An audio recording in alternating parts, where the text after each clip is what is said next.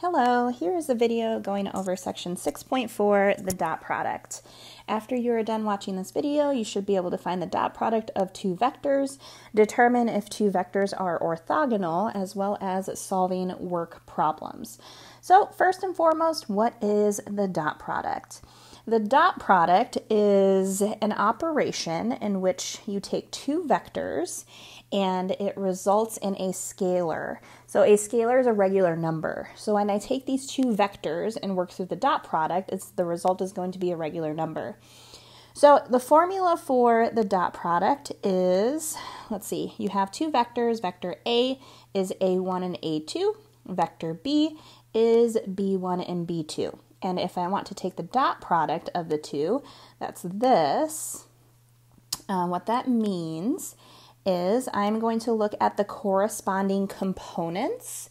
So for example, I'm going to take A1 and that is going to be multiplied by B1 and A2 is going to be multiplied by B2. Okay, so a1, b1 plus a2, b2, and that's going to result in a regular number. Now, the other thing we're going to look at is the theorem of the dot product, and that allows us to find the angle in between two vectors. It is going to be this formula right here.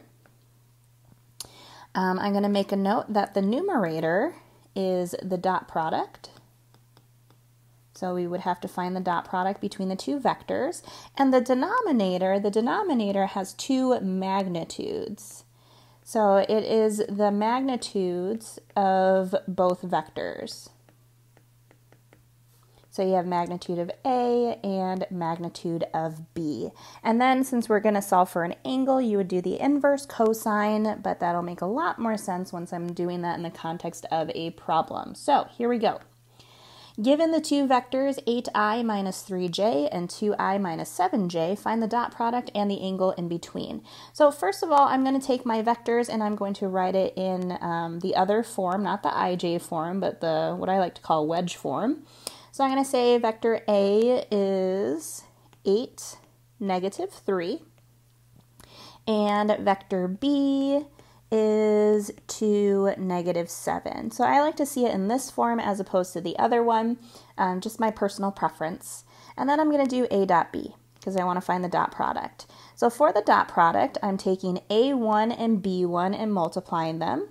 So that's the 8 and the 2.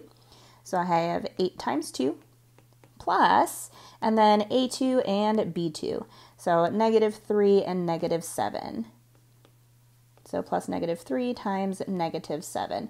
Now, if you'll notice when I first wrote out my vectors, I stacked them on top of each other, A and B. Um, that way I had my um, horizontal components lined up and my vertical components lined up. So right on top of each other. That'll help me figure out what numbers I'm going to multiply um, within my dot product. So that gives me 16 plus 21, which is 37. So for this particular problem, it asks you to find the dot product, which we just did. It also asks you to find the angle in between. So in order to find the angle in between, there's two other pieces of information that we need. We need to find the magnitude of A as well as the magnitude of B. So magnitude is going to be the square root of A1 squared plus A2 squared. I'm going to go ahead and leave this in radical form. So this is the square root of 64 plus 9, which is 73. I'm going to do the same thing for vector b. So magnitude a1 squared plus a2 squared. Oh, that's b. b1 squared and b2 squared. And that gives me 4 plus 49 is 53. All right, so now I'm going to follow the formula to find the angle in between. So that's cosine of theta equals the dot product, which is 37, divided by the magnitude of A times the magnitude of B. Now what I'm going to do next is I'm going to take this expression, that entire thing, and put it into my calculator so I can get a decimal approximation. I'm going to use alpha y equals so I can get that fraction bar on my TI-84. So I have 37 on top, square root of 73, and square root of 53 on the bottom. I'm going to go to four decimal places, so 0.5948. And then to finally figure out my theta, I'm going to do inverse cosine because you always do the inverse trig function to be able to find an angle measurement. And for this angle measurement, we're going to look at it in degrees. So double check that your calculator is in degree mode. And then we are going to do second cosine, so inverse cosine of 0.5948. And that gives us approximately 53.5 degrees. All right, so we found the dot product and the angle in between. Okay, the next thing we're going to look at is something called orthogonal vectors. So orthogonal is just a fancy word for perpendicular. So you'll see the word perpendicular in parentheses. So anytime you hear me say the word orthogonal, it's the same meaning as perpendicular, which of course means the angle in between is 90 degrees. So the theorem on orthogonal vectors tells us that two vectors are orthogonal or perpendicular if their dot product is zero. So that's the most important part. Dot product has to be zero for two vectors to be deemed orthogonal. So for this example, it says show that two vectors are orthogonal. Essentially, what I want to do is I want to check to see if the dot product equals zero.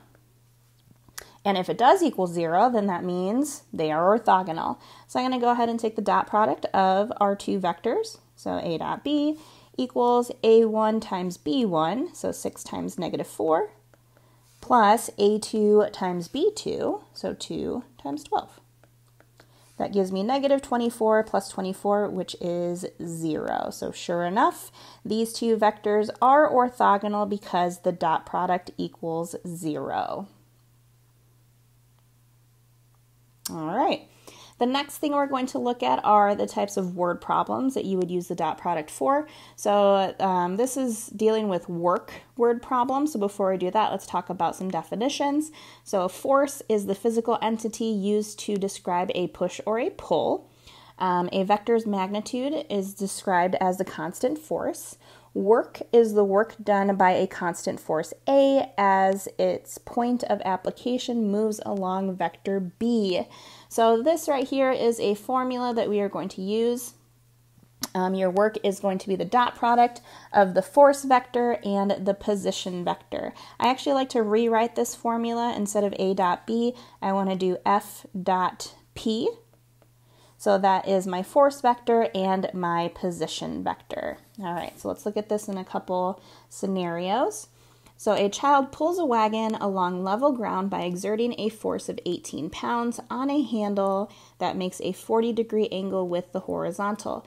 Find the work done by pulling the wagon 150 feet. So let's go ahead and start by drawing a picture because it's always helpful to have a visual. Here's a little wagon. Here's the handle. Here's the kid pulling the wagon who has a very long neck. So, pulling the wagon. I'm actually going to fix that because his long neck is going to bother me. Let me fix that. All right. And let's give him some hair he's a happy guy because he's pulling his wagon. Okay, so he's pulling the wagon. Let's see, the force is 18 pounds. So this right here, we're going to say that that is 18 pounds. And the angle that um, the handle makes is 40 degrees. So this angle right here is 40 degrees and we want to find the work done by pulling the wagon 150 feet. So we're taking this wagon in this direction 150 feet. Okay, so now that we have the visual, let's go ahead and start talking about the force and the position vector because we need to find both of those in order to calculate the work. So the force vector I am going to find by taking the magnitude of the force. So the magnitude of the force is 18 pounds, but keep in mind that it is being um, pulled at a particular angle of 40 degrees. So when I change that to a vector, I want to do the magnitude, which was 18, and then cosine of the angle in which it is being pulled. So 18 cosine of 40 and 18 sine of 40 and that is the force vector. The other piece I need is the position vector. So my position is going to talk about position. It's going to talk about what you actually want to do. So in this case, we're pulling the wagon horizontally 150 feet. Now, this kid is on level ground, so that means when he is pulling, he is going straight across 150 feet. He doesn't have any vertical movements whatsoever, so he's not moving up at all. He's not on an incline, it's just level ground 150 feet. So that means for my position vector, my horizontal component is 150 and my vertical component is 0 because he's not moving up or down at all. He's just moving horizontally 150 feet. Now, to actually find the work, I want to take the dot product of these two vectors.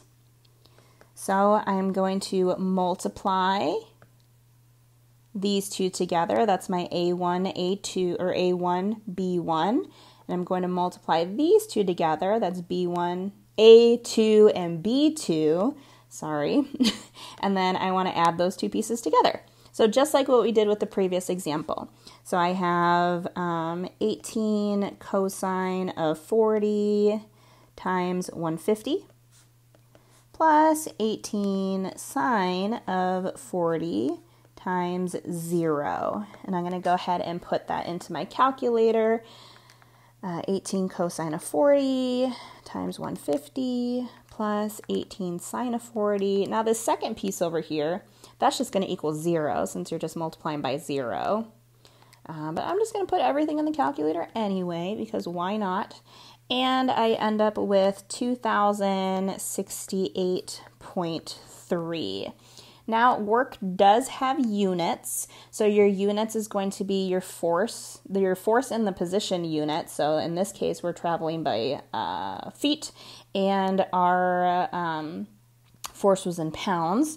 So my units for this is foot pounds, which sounds very weird, but just go with it. Typically in science, when you're talking about work, you'll see the unit joules for work, um, but in this case, we're using foot pounds.